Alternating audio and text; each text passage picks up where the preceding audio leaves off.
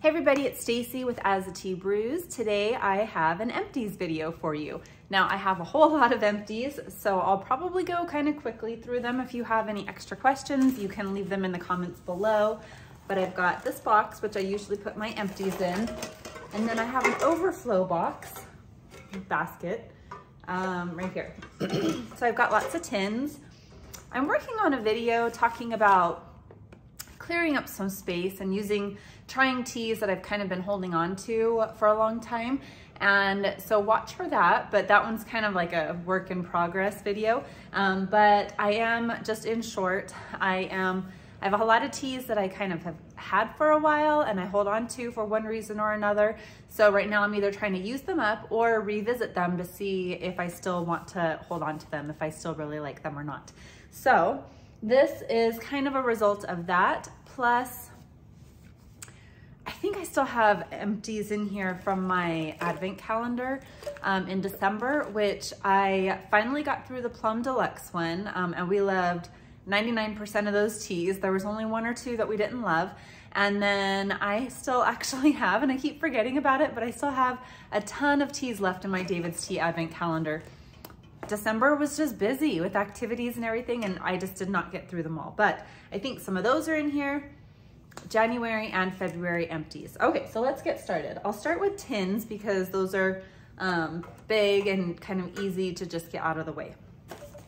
All right, um, so here is this one. Now this is um, in a David's Tea tin. I tend to reuse those a lot. Do you guys do that too?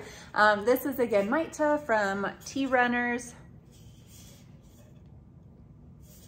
And this was a nice Genmaicha. I kind of feel like like most of them are kind of the same. Like it doesn't really matter the brand usually. I tend to like them pretty much the same. Um, I currently still have some in tea bag form, um, so I don't really need to repurchase a Genmaicha right now, but um, in the future I will because I really enjoy that type of tea, and that's like the toasted rice with the green tea. This one is Peppermint Patty Push, and this is from Steep Me a Cup of Tea and they are in um, North Dakota, I believe. And I love this tea so much. Um, I looked at their website and they don't, they have just a peppermint patty. I don't, this one was called Peppermint Patty Push. So I'll have to figure out if that's the same one or not. But um, this was a really delicious dark tea with um, chocolate and mint. And I love that tea.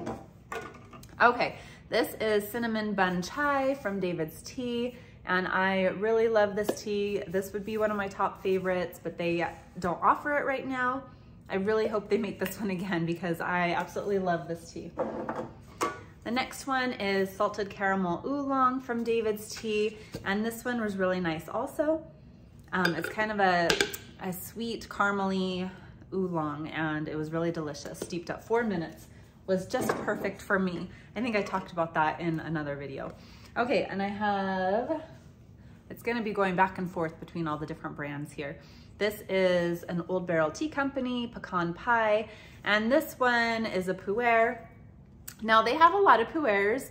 They have several pu'ers that I really enjoy, and I did like this one, but it's not my ultimate favorite from them. So I'm actually oh, I have a pot of tea that I'm supposed to pour the water into um, right now. Actually, I'm gonna go do that. So I will be right back, but I'll bring you so we can see what we're making.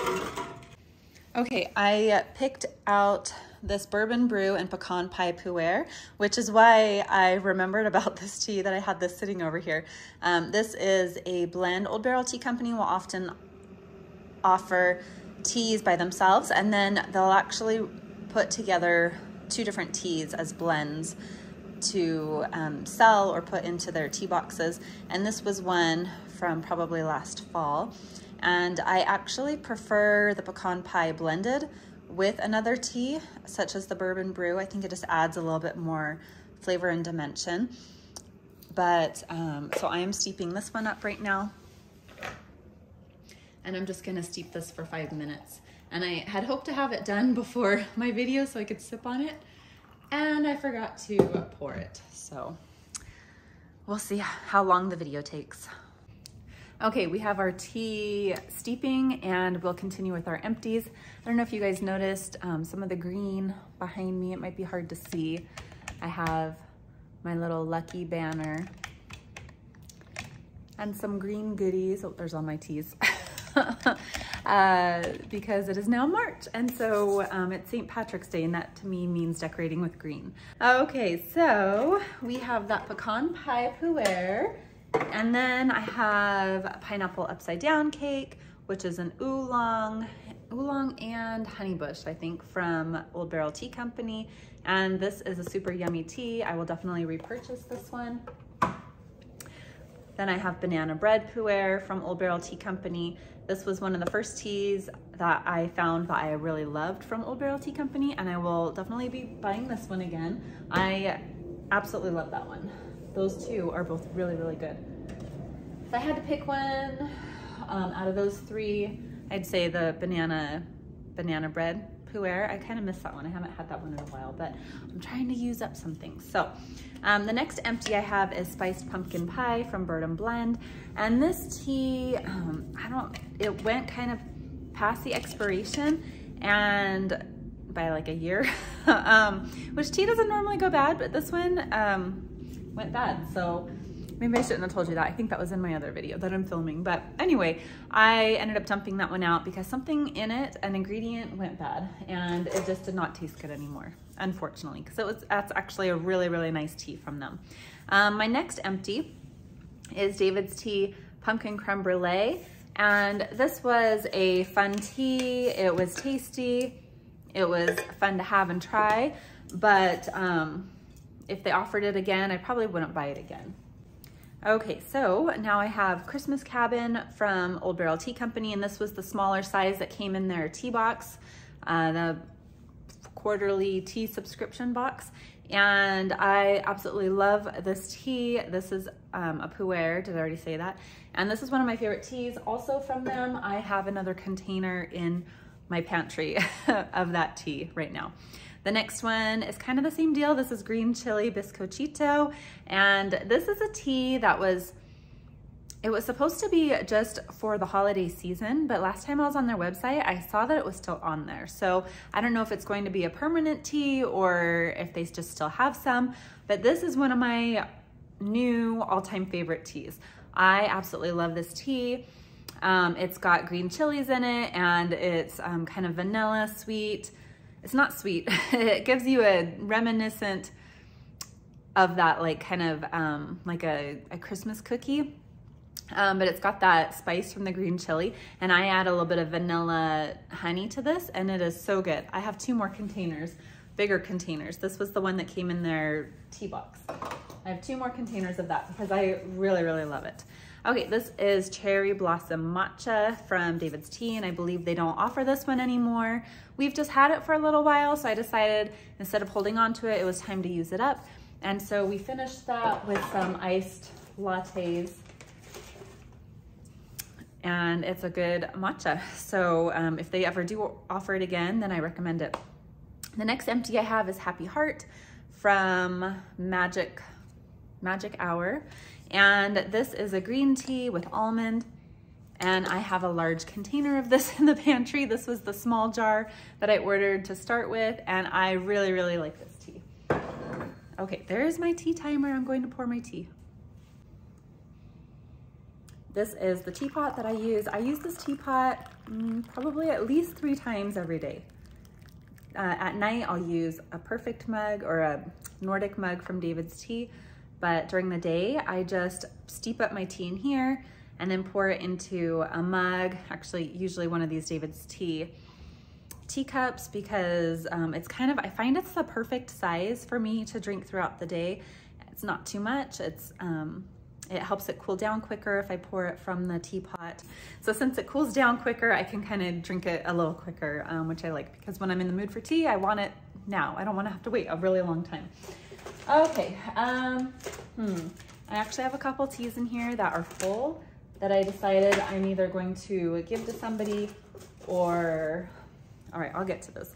The next one is Coconut Cream Puer, and this is from Old Barrel Tea Company. And I did enjoy this tea. I wasn't sure because sometimes I don't like coconut which is why I don't like at least one of the teas in here. But um, this one was nice, but it's not one that I'll, I'll purchase. It was just okay to me um, because of the coconut thing. Okay, let's just get these over with. So this one is Matcha Cream Puff from Dessert by Deb. And I liked all the teas from her except for this one. This one was really coconutty and I don't like coconut in tea. I like real, I like coconut, dried coconut in like food, desserts, my oatmeal, um, but I just don't like it in tea. And so what should I do with this, you guys? I don't know if I know anybody in person who wants it. I don't know if it's worth mailing it to someone. I did already open it. Tell me what you think I should do with it. If anybody wants it, let me know in the comments. I don't know.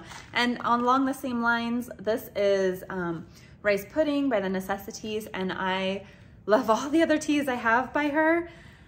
But this one, um, this one is just too coconutty for me. I just didn't like it. So it's an oolong with cinnamon and coconut and nutmeg. And um, I just couldn't, I couldn't drink these. I tried several times, iced and hot, and I just didn't like them. So I feel bad having teas that I bought and um, that I'm just not gonna drink, but I don't want them sitting in my, my pantry. So um, the kids didn't like it either. So I don't know what to do with them. Okay, so the next empties I have were refills that I dumped into my tin. This is cranberry orange scone, white tea by the Necessities. And this is one of my all-time favorite teas. I really love that tea. I have some more bags that I dumped in as a refill. Um, and actually I just finished my tin last night. So now I'm gonna have several more, couple more bags that I'm gonna dump in. but these refilled Les Digestives refilled my mega tin. Um, this is from David's Tea. There's three bags of it. Um, the mega tin holds a lot, but we drink a lot of this tea. The next one I have is Toasted Marshmallow by David's Tea. This was never in a tin, I just had it as a bag. And this one was just okay to me. It was a little on the sweet side for me personally, so I didn't love it, but we, we drank it. It was drinkable. um, the next one is Bohemian Breakfast from Magic Hour. And you might have already seen another video recently that I really, really, really like this tea. This is a black tea with um, black tea pu'er, black currant, natural pomegranate flavor, and vanilla bourbon flavor. And this is a really lovely black tea. Okay, so this is almond cinnamon brioche from Dessert by Deb, and this was a sample size that she sent to me, and you get quite a few cups out of these sample sizes. Um, a really nice blend. It's a black tea, and it was cinnamony and almond, just like it says, and it was very good. I've got a sample from the Necessities, chocolate orange truffle, and this was actually really, really good. I like the combination of chocolate and orange. I do think I would like something, maybe like a pu'er base for this, better than the black, um, because black teas sometimes aren't my favorite, although I have found quite a few black teas lately that I've really been enjoying. Um, but I did enjoy that sample. Um, I just think maybe it would be better with a pu'er base. I'm not sure how that would be or not. Okay, here's a sample size of green chili bizcochito that came in one of my boxes and I already told you guys I love, love, love that tea. I have a couple tea bags in here.